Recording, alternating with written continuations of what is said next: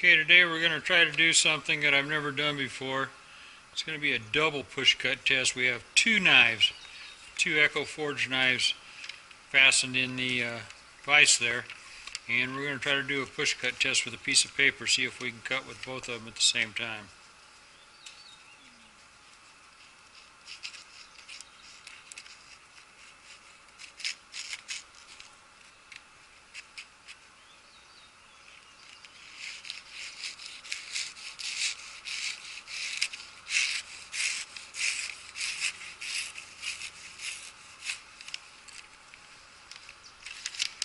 Both knives cut at same time. Those are sharp, ready to go to work. Hmm. Even I'm impressed.